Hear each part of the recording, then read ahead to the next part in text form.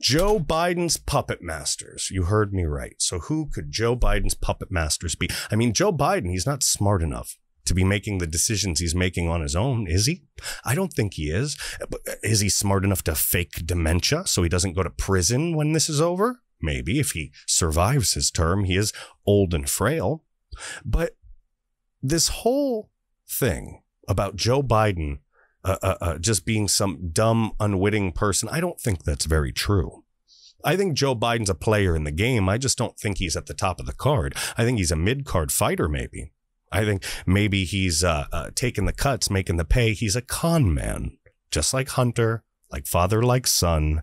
They are shisty car salesmen. They are con men. They're snake oil salesmen. Come one, come all. Hunter and Joe's Biden extraordinaire. Buy your votes here. Your global reset there. New world order for sale, ladies and gentlemen. Beautiful apartments right on the beautiful coasts of Iraq. Ladies and gentlemen, my friend, if you are listening to me, then you obviously are seeking the truth. And the truth is that if you follow me, this rabbit hole goes much deeper than you think. All right. This all leads to the Great Reset. And if you've never heard of the Great Reset, the Great Reset in a nutshell sounds pretty crazy. A couple years ago, you would have looked at me and you would have said, James Lane, you're a conspiracy theorist. James Lane, you're out of your mind. James Lane, you need to go to the loony bin. But no, you're going to listen to this and you're going to go, hmm, yeah, that sounds like it could be true because it is.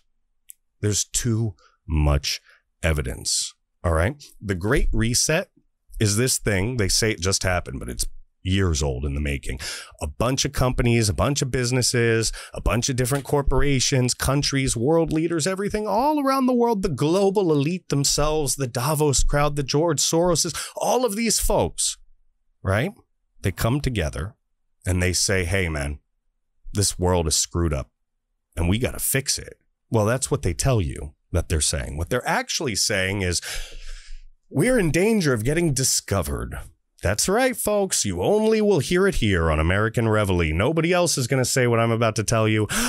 We're in danger of being discovered. We're super rich elites and we like to do bad things with kids. That is what's happening. Biden doesn't just sniff people because he's bored. Biden sniffs people because he likes to sniff people, ladies and gentlemen. And So do, so do tons and tons of wealthy elites. Now, not all wealthy people are elites. There are plenty of elite uh, uh, uh, wealthy folks out there on their mega yachts. There are plenty of um, of, um, of Microsoft CEOs. There are plenty of Google CEOs. There are plenty of, uh, of international sultans and and shahs and all kinds of folks with their hands in this. All right. The the, the main thing that's really happening, right, is they're saying that they need to redistribute the wealth right? The planet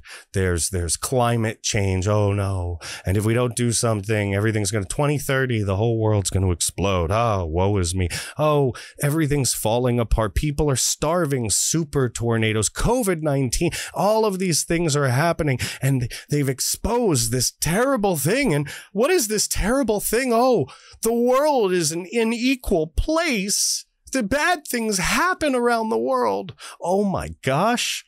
You mean reality? Yeah, yeah, that thing called reality. They don't like that. You see, reality is not predictable. And rich, evil people that like to do bad things with kids and don't want you to know about it and want to close the curtain that Trump pulled wide open, they, they don't want you to see what's happening. They want to shut it down. All right. They want to put baby in a corner. They want to close Pandora's box. All right. And the only way they're going to do that is uh, through basically a global takeover. I know it sounds out there, but if you're watching, I'm sure you've heard this before. You've heard about the NWO, the New World Order, we used to call it back in the day. You remember the 90s, the 80s, early 2000, the New World Order. They're going to create a one world government. They're going to take over everything, and the lizard people are going to come and they're going to kill us all. That is what people used to say. And we used to look at them like, oh, that person needs to take some medication. But with everything that's happened and everything out in the open, and the changing of words, critical race theory, woke ideologies, the changing of definitions, this Bolshevikian, this socialist like takeover of all of our institutions, things just start looking a little more realistic. Okay. They look a little more realistic. It, it doesn't seem like a hoax. It doesn't seem like a conspiracy especially when you can put the money together, when you can put one and two together. They want to change everything. They want to inject social policy into everything. They want to create a socialist world without calling it socialism, a change, an upgrade, a new form of capitalism, very much looking like communist China.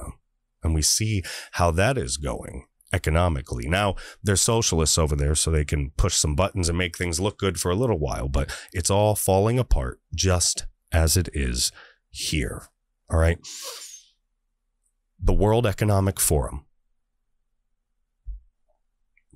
they push this whole thing. They push the Great Reset. The articles come out there.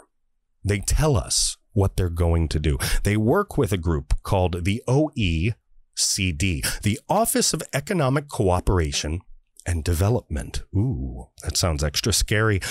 All they are are Trojan horses for a worldwide socialist takeover. Plain and simple. And it's not really socialism. They they use socialism as a tool, all right? But really it's just the global elites that are really cult like creepy people that want to do whatever the hell they want and don't want to be held accountable. They weren't held accountable for generations.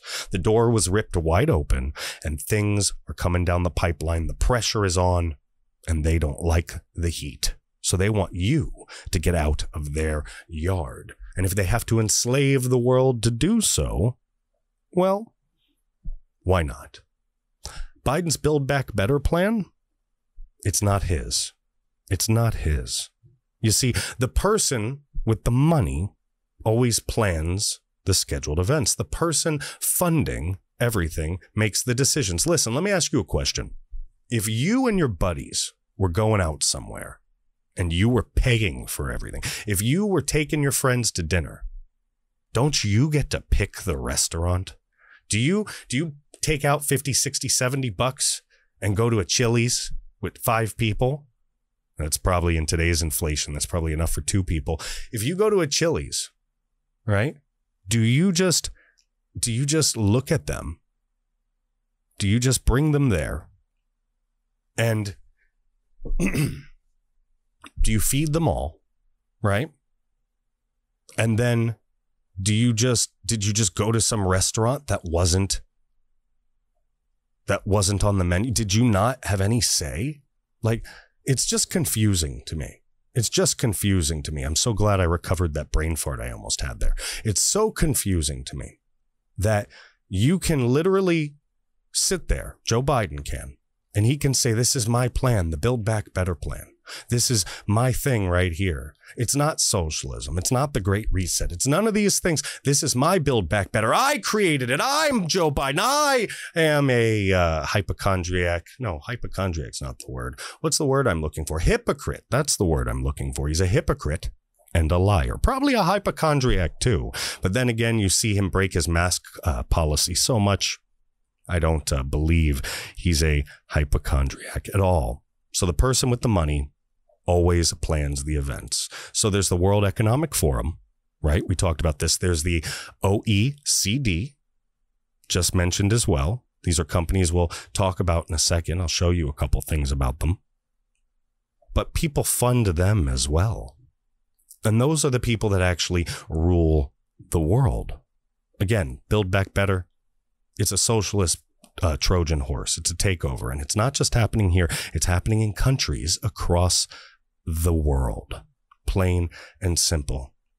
The other day, I, uh, I was laying down, doing some research, looking at some stuff, resting my back, and Biden came on the television. I usually have Hulu on like 24 7 because I have the news on so I can be up to date, so I can make sure I don't sound completely like an idiot while I'm doing these episodes. And I, I came across Joe Biden giving his Build Back Better infrastructure speech. Oh, pat myself on the back. We passed this crappy legislation.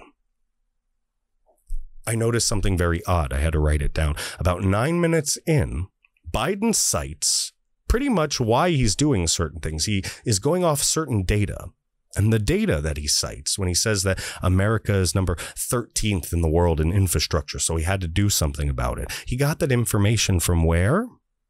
From the World Economic Forum. He goes, according to the World Economic Forum. All right.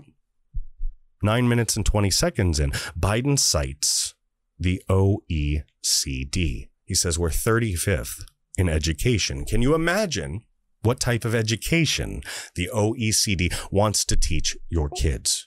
Can you imagine? I can imagine. I can tell you. They want you to have nothing and be happy. They want to train your kids to be Marxists. I'll probably say it again in this podcast, but did you know that 33% of all young people under 30 not just want Marxism, but believe in it in their being? They believe Marxism is good. They've been taught that 33% of people under 30, what's another generation? Will we be at 50%?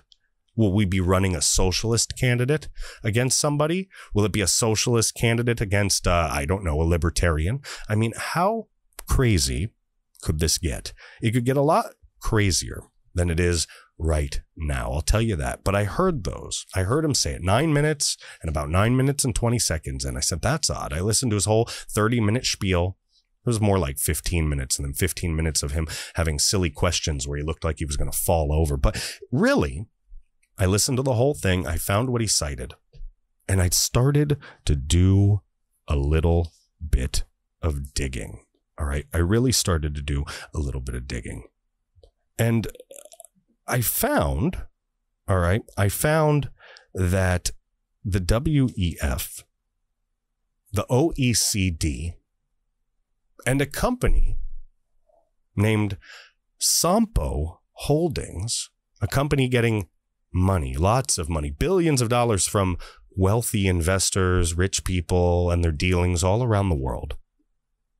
They work hand in hand with the World Economic Forum. They work hand in hand with the Office of um, Economic Cooperation and Development.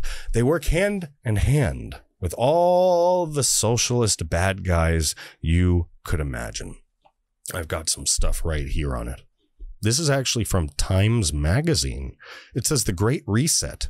COVID 19 pandemic has provided a unique opportunity to think about the kind of future we want.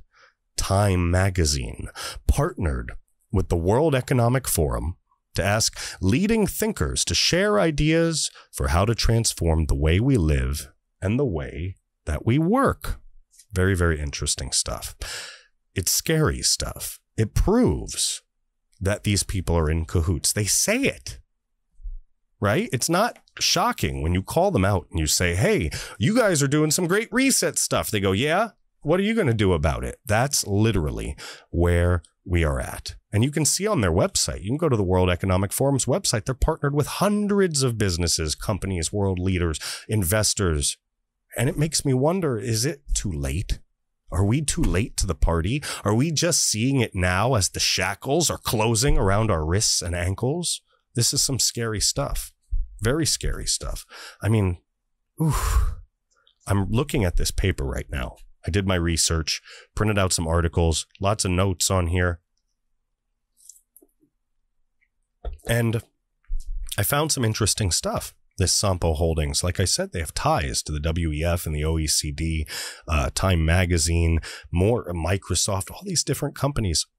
This is literally coming from Sompo Holdings. All right. These are the people funding, sending money, operations, different things, right? Different projects, planning different ways to get in the minds of your child. Remember education, right? Remember infrastructure. Infrastructure is no longer just buildings. It's human infrastructure. Remember to them, it's about your happiness.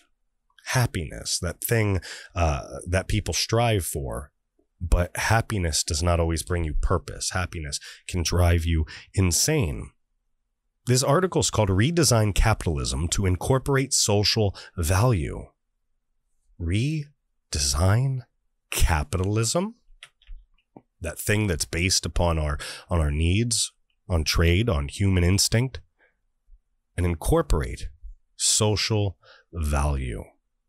The world was facing daunting challenges before the COVID 19 crisis climate change, environmental destruction, worsening inequality, and widening disparities are problems that some among us choose to downplay or dismiss. You see that attack right there at the end? Some among us choose to downplay or dismiss. Those are the Trump supporters. That's them talking about you and I. You see, they've been setting this up for years. They've got an entire network. When you go to the website, it shows that this company, this uh, OECD, is 60 years old.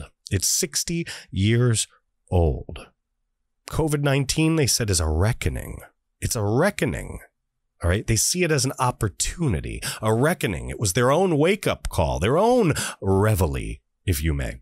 And they never wanted to let that crisis go to waste. They saw COVID 19. They might have even released COVID 19 alongside China. And they said, now is the time to seize power. Now is the time to take control through fear, through power. We will rule you forever. And then we can go back to, you know, doing bad things with children and hopefully you won't know about it anymore. They want control so that they can have their godlike freedom back. But they have another thing coming. They have another thing coming. This is scary. All right here look they they try to mask this horrible statement. They they use this affirmative statement to make you become open. It's like hypnoti- uh, hypnotism right? They use an affirmative statement to let to get your guard down right? To warm you up to let you go. They agree with you. You go oh this person's not so bad. They agree with my points. They say capitalism has lifted countless people out of poverty. However and that's a key word. When you see the word however my friend however with the great expansions of digitalization and globalization, you mean that thing that you guys wanted, globalization? Capitalism has produced greater inequalities and divisions. And that is a bold lie, as statistics have shown that capitalism has raised far more people out of poverty than it ever has put in. There are plenty of statistics that you can find on that. They said that uh, with the expansions of digitalization and globalization, capitalism has produced these greater inequalities and divisions. And capitalism itself, in its present form, is not truly contributing to the well being of humanity. And we need to reimagine capitalism to incorporate social sustainability. Oh, that keyword right there. Sustainability. Sustainability is a keyword for racism, socialism, taking people's money that they've worked hard for their whole life, stealing it from them, giving it to other people who illegally come into the country. That's sustainability to these people. All right. We have to save the planet, even though we have no idea what is happening because nothing is happening the way we think it's happening. The earth's going through certain cycles. And though, you know, we might be responsible for, for doing better, to be better shepherds of this planet, right? We're not responsible for making ourselves into cave people again all right. Destroying our convenience, destroying our lives, destroying our energy dependence, destroying our wealth, destroying everything just so we can be the benevolent creatures that you've always strived to be. Oh, looking down at my nose, looking down at the peasants floating above the. Yeah, listen, we're not gonna play this game. We're not. It's not going to happen. You're not going to do it to us. You're not going to make us feel better by saying, yeah, we agree. Capitalism has done great things. But listen, I'm a business major. I know what that is. I know how to use transformative leadership to convince uh, uh, employees to do things right? And these folks are using certain tactics and techniques to put words together to get you to let your guard down, to soften to their ideas. They want to reimagine capitalism. They don't want to destroy it. They want to reimagine it. That's different. That's still capitalism, right? To the unintelligent, the uninformed, the dumb and dull, that's still capitalism. But you and I, we know the difference. We know the difference. It says capitalism is a socio-economic system designed to meet the demands of people. And to redesign the system, they need to create a new capitalism. And these are some of the points that should be considered. And you need to listen to this. This is some crazy stuff. It says create a system that can generate good demand to meet the various objectives of the Sustainable Development Goals. Businesses should pursue the happiness of the whole society in line with environmental, social, and corporate governance. Why is it Nike's job to worry about my happiness? Why is it the hardware store's job to worry about my mental health? These people are sick. They're out of their mind. Capitalism is not about your feelings and worrying about your feelings, worrying about saving the planet and worrying about saving society as a company is only going to lead. And as you can see, if you look out your window, it already is to the downfall of this very country which is exactly what they want. The global elite want the downfall of all Western countries. They want us to rise up again as socialist uh, uh, hexscapes, socialist pits, tar pits where we can sink into in their form, their version of free modern convenience, where we can be complacent, we can be lazy, we can own nothing, we can be happy, we can literally become the movie Idiocracy. Absolutely ridiculous stuff. It's absolutely ridiculous stuff.